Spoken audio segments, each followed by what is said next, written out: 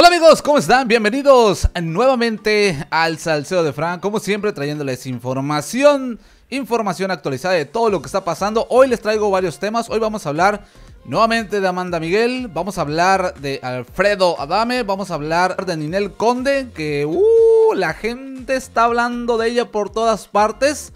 Yo creo que la, pandemia le pegó feo a la, a Ninel Conde y ya se le acabó el billete y tiene que buscar por dónde generar un, poco más de dinero. Yo creo, ¿no? ¿De qué se trata o por qué la gente o por qué Ninel Conde está en boca de todo el mundo?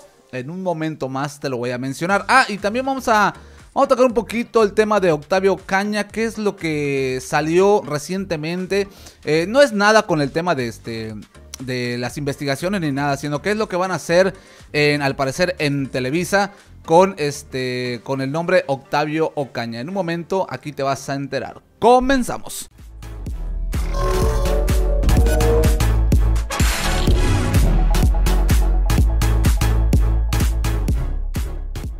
Bueno amigos, vamos a comenzar con los temas del día de hoy. Vamos a comenzar con esta noticia que en redes sociales se está comenzando a viralizar porque ya vieron que el día de ayer se estuvo mencionando que a la señora Amanda Miguel se le vio entrar a un hospital, ¿ok? Pero todavía no, no había nada confirmado, no hay nada que realmente eh, nos compruebe de que la señora Amanda Miguel estuvo en ese dichoso hospital. Simplemente en las redes sociales ustedes saben que de repente se inventan un montón de cosas. Ahora, ¿qué es lo que está surgiendo? Ahora, están sacando en algunos videos en YouTube, tienen el descaro, tienen la desfachatez de comenzar a meter el pánico entre la gente, porque están comenzando a decir que la señora Amanda Miguel ya no salió de ese hospital viva. O sea, básicamente están diciendo en sus videos, están diciendo que Amanda Miguel perdió la vida a causa de un infarto. Sí, así como lo estás escuchando,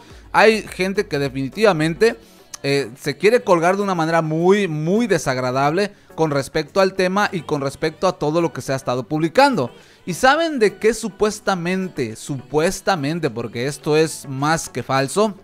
Supuestamente la señora Amanda Miguel falleció a causa de qué? A causa, a causa del síndrome del corazón roto. ¿Ustedes? ¿En serio? ¿Ustedes conocían el famosísimo, el famosísimo síndrome del corazón roto?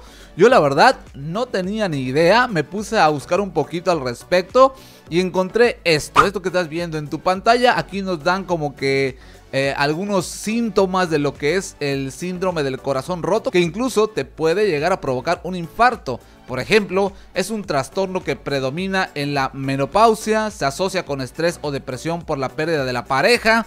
Su nombre médico es miocardiopatía de Takotsubo. Pacientes indican que el dolor es provocado por una situación emocional, afecta principalmente a las mujeres. O sea, ustedes leen esto y eso es lo que me imagino exactamente es lo que está pasando la señora Amanda Miguel por el tema de que pues acaba de perder a su esposo, ¿no? Pero de verdad, ¿cómo pueden agarrar y tomar esto y empezar a publicarlo como si realmente hubiese sucedido que la señora Amanda Miguel ha fallecido? O sea, ¿qué les pasa a este tipo de gente? Si saben que lo peor de todo es que hay gente que entra a ver esos videos y ponen sus comentarios así todos incrédulos, no se lo pueden creer, están como que sorprendidos, que cómo va a ser, que acaba de morir su esposo, ahora ella y no, sé, de verdad, gente, no se dejen llevar por cualquier video que ustedes lleguen a ver. Pónganse a investigar. Hay muchos más videos en internet que te pueden abrir los ojos. Como por ejemplo aquí, aquí que estamos desmintiendo el tema de que Amanda Miguel este, falleció. Más que nada porque como no han visto que la señora este, haya declarado algo en redes sociales recientemente de entre ayer y hoy, pues ya de ahí se están agarrando para decir que la señora pues básicamente ha perdido la vida. Yo digo, yo digo y lo digo y lo afirmo que esto es una noticia fake completa, completamente. Pero ojalá, ojalá y más adelante tanto la hija como la misma madre pues salgan a desmentir este tipo de tonterías, este tipo de notas que están comenzando a salir con el tema de este de Amanda Miguel. De verdad que hasta dónde son capaces de llegar en internet por un par, por un par de visitas. En fin, ahora pasemos al segundo tema. Ninel Conde, señores. Ninel Conde. ¿Qué está pasando con Ninel Conde? Es una total locura lo que está sucediendo con esta, con esta mujer. ¿Por qué? Como dije al principio, yo creo que a Ninel Conde le pegó bastante fuerte lo que es el tema de la del, del bicho, no, no porque esté enferma de ellos, sino porque ya vieron que hubo una crisis y todo esto, pues yo creo que a Ninel Conde le ha pegado duro también en los bolsillos y ha decidido por fin, por fin, desde hace ya un tiempecito atrás, ella venía bromeando con que se iba a abrir un OnlyFans para que sus fans puedan entrar a ver las fotos supuestamente exclusivas que va a subir en ese lugar. Para los que no saben qué es OnlyFans, es una plataforma en la que tú puedes subir eh, la mayoría de los que suben, eh, los, tanto youtubers como famosos, lo que tú quieras, la mayoría lo usan para subir contenido, digamos, eh, especial, contenido mucho más privado, que por esa misma razón, para que tú puedas ver ese contenido, tiene un costo, desde creo que 5 dólares hasta 50 dólares.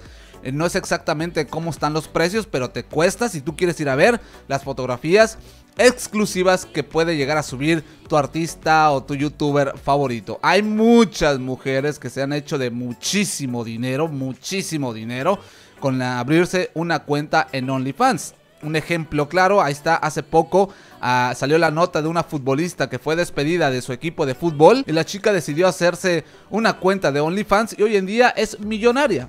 Así, tal cual, así de simple. Y yo creo que Ninel Conde ya ha escuchado este tipo de historias que te puedes volver millonaria subiendo fotos a OnlyFans. Y por esa razón, pues yo creo que se decidió abrir su cuenta de OnlyFans. Este es el post que Ninel Conde puso ya para dar el anuncio oficial de que tiene OnlyFans. Dice lo siguiente, mis bombones, ahora sí, tenemos OnlyFans. Por fin puedo compartirles esta noticia que me había estado guardando podrán ver contenido exclusivo y de calidad en OnlyFans. Lo que verán allá no lo han visto en ninguna otra parte. No puedo esperar a que por fin lo vean todos. Se unirán a mi club de contenido exclusivo. A ver, a ver, hay que ser, hay que ser honestos. Yo voy a hablar sin pelos en la lengua. Hay muchas chicas o hay mujeres que hablan en su OnlyFans y te dicen que te van a poner contenido exclusivo y a veces a veces son tan mentirosas que suben el mismo contenido que tienen en Instagram. Y hay muchas, y hay youtubers que también han hecho lo mismo. Te dicen, es contenido exclusivo, que no sé qué, que por acá. Y luego las fotografías las ves en Instagram. Mientras tú ya pagaste por ese contenido y esta gente se atreve a subir ese mismo contenido a una cuenta completamente gratuita como lo es Instagram. Espero que Ninel Conde no se atreva a hacer esa estupidez. Espero que realmente Ninel Conde suba contenido que no vas a ver en ningún otro lado. Y yo creo, yo creo que muchos de sus seguidores se lo van a pedir. Eh, que las fotografías sean mucho más atrevidonas que para eso están pagando. Y hay unos que son todavía más locos que son capaces de pagar la, cantidad más alta que piden en Only en OnlyFans. En fin, pues enhorabuena con Ninel Conde, esperemos que le vaya muy bien. Si su OnlyFans llegase a reventar, yo creo que le va a ir le va a ir pero muy muy bien. Ahora pasando con el señor Alfredo Adame, gente. Ahí está Alfredo Adame, de verdad que ya como que ya se nos, ya se nos fue, ya lo perdimos porque el señor Alfredo Adame ahora quiere ver de qué manera este pues perjudicar o de qué manera puede vengarse de la gente con la que tuvo el pleito callejero este. Eh, ahora saben qué es lo que quiere hacer el señor. Quiere ver si de alguna manera hablar con el DIF del lugar donde son estas personas para ver si pueden ponerle atención o le pueden quitar a la niña que ustedes llegaron a ver en el video que también se bajó a tirar golpes, eh, pues defendiendo a, a, su madre o a su papá. Eh, a esa niña, este, eh, Alfredo Adame supuestamente está en pláticas con sus abogados para ver si de alguna manera pueden hacer investigar a la familia para que vean cómo es la educación que está llevando esa niña en ese círculo familiar.